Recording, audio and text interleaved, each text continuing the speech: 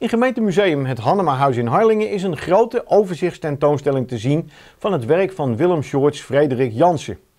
Hij werd in 1871 geboren in de Friese havenstad en overleed in 1949. Het Hannemahuis toont meer dan 75 schilderijen, tekeningen en keramiek van WGF Jansen. Wat waren zijn favoriete onderwerpen? Uh, het valt eigenlijk in twee hoofdgroepen te verdelen.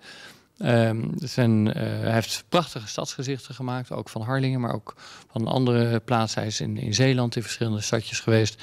Hij heeft uh, een groot schilderij van Enkhuizen gemaakt. Nou, her en der uh, heeft hij door, door Nederlandse steden gewerkt. En, maar ook het, het landschap wat tussen die steden in lag, vergat hij niet. Dus hij heeft prachtige riviergezichten gemaakt. Hij verkeerde graag in de Betuwe en het gebied daaromheen.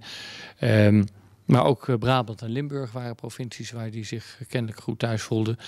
Um, naaldbomen vind je op zijn schilderijen bijvoorbeeld niet. Dus op de Veluwe zal hij wel wat minder gewerkt hebben.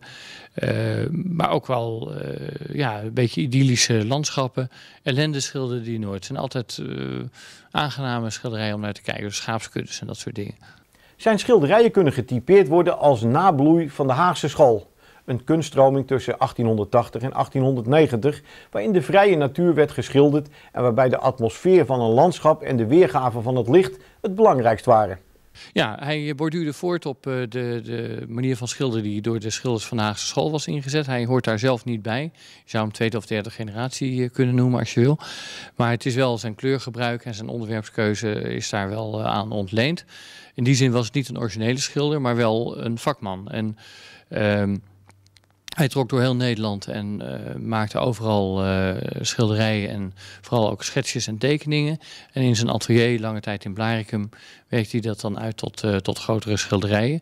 En die waren inderdaad heel geliefd. Hij had goede contacten met de kunsthandel. zijn schilderijen waren destijds niet heel duur. Wat het precies kostte weten we niet. Maar ze gingen wel als, uh, als warme broodjes. En doordat hij snel kon, uh, kon werken, uh, kon hij daar toch een boterham aan verdienen. En ook heden ten dagen op kunstbeurzen en op veilingen komen we zijn werk veel tegen. Want hij heeft veel schilderijen gemaakt. En nou, dat, ja, dat er nog steeds veel mensen zijn die, of dat er nog steeds veel mensen zijn die zijn werk aan de muur willen hebben. En die daar ook heel blij mee zijn, heb ik gemerkt uh, tijdens de voorbereidingen. Uh, ja, dat, dat pleit voor, uh, voor Jansen. Bij de tentoonstelling hoort ook een catalogus, een hele uitgebreide. Heb jij gemaakt? Ja, ik heb uh, het afgelopen half jaar uh, redelijk doorgewerkt, mag ik wel zeggen. En dit is het uh, resultaat. Een boek van 136 bladzijden over, over de schilder W.G.F. Jansen. En nou, de schilderijen die, en tekeningen die op de tentoonstelling hangen, die staan daar allemaal in afgebeeld en nog wat meer. Wat daar ook in staat, daar hebben we het nog niet over gehad, is hoe hij begonnen is. Hij heeft zijn eerste jaar als plateelschilder, dus als aardewerkschilder, doorgebracht. Hij is in 1896 begonnen bij de fabriek van Rozenburg in Den Haag. En heeft daarna een jaar in Gouda gewerkt bij de Zuid-Holland. Om vervolgens een aantal jaren tot 1908, 1910 zo'n beetje bij de Dissel in Amsterdam eh, te werken. Ook op een teelfabriek. En ja, daar was hij ook zeer vaardig. Hij heeft prachtige Art Nouveau, uh, dus Jugendstil, schotels helpen ontwerpen of zelf ontworpen. En ook dat uh, vak beheerste die uitstekend. Dus ja, het is gewoon een goede vakman geweest. Er is ook meer te zien hier over het leven van Jansen.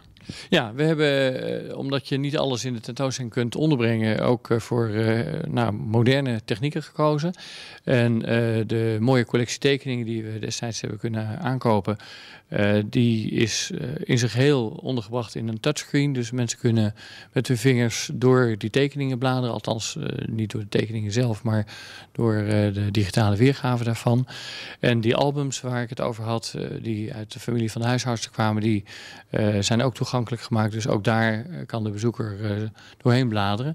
En er is nog uh, een, een, stukje biografie over de schilder.